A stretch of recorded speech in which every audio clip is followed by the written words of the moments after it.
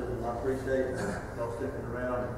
It always excites me to baptize because I love to see that, that confession of faith. I love to see that, that old man or old woman go away and that new person in Christ Jesus come alive. I look forward to see what what all's going to take place in Glory Drop. I've just seen such a great transformation here in, in the lives of these kids in the last just since Camp Cairo. I've just seen it. I've seen it in Bible school this week. And, it's just amazing what God's doing. And I just pray that God will continue to work and move, that they'll continue to be the disciples of Christ, the disciples making other disciples.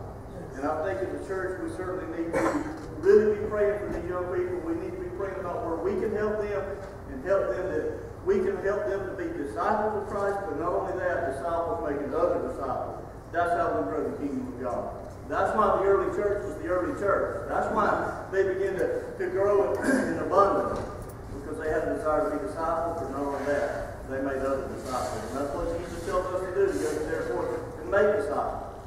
And be God. Because I'm excited for your glory, I'm excited what God's doing in your life. It's already given a life to Christ, and that's just that's an amazing testimony. But we're just looking forward to her being baptized today going forth just saying, hey, I'm making this public, I'm making this declaration that I am loved by God, I am a child of God. He's pleased with me today. Never forget that. Don't let the enemy cheat you out of it. Take him back to this quarter. Take you back to this day. And say, I know beyond the shadow that who I am, who, who I belong to, and what God did for me, and how God loves me. All right, let's get this away. You hold your nose. Now you want to do it. It is indeed an honor and a privilege for me to baptize you, my sister Glory, in the name of the Father, the Son, and the Holy Spirit.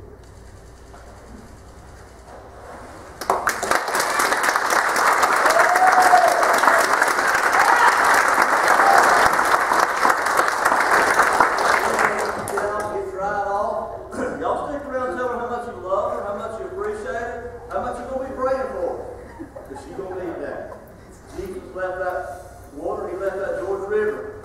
You know where he went? He went to the wilderness. Here's the thing about it. You know, everything's good right now. It's summertime, these kids are all out, and they're, participating in camp and Bible school.